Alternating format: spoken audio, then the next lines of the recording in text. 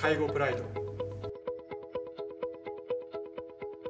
最初は不安が多かったんですけれども分からないことは先輩に質問したりして今では独り立ちして、まあ、一人のケアとして働けるようになって、まあ、仕事への楽しみとか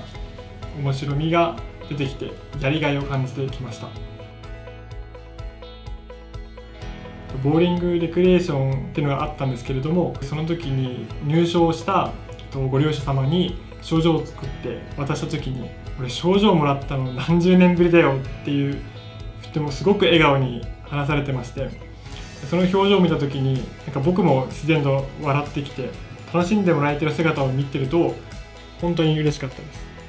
日々の介護や季節のイベントを通してご利用者様も働いているスタッフもみんなが笑顔になる空間を作っていきたいなと思っています。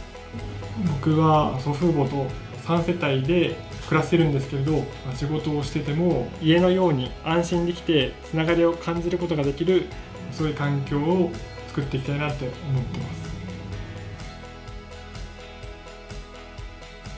今一緒に働いている法務長は管理職という立場ではあるんですけれど現場にも一緒に入ってくれます。で現場でケアをしながらホーム全体を見ることもできる方の仕事を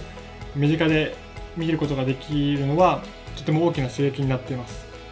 僕も、ま、管理職として働くようになってもいつかは後輩から目標にされる仕事ができるようになれればいいなと思っています。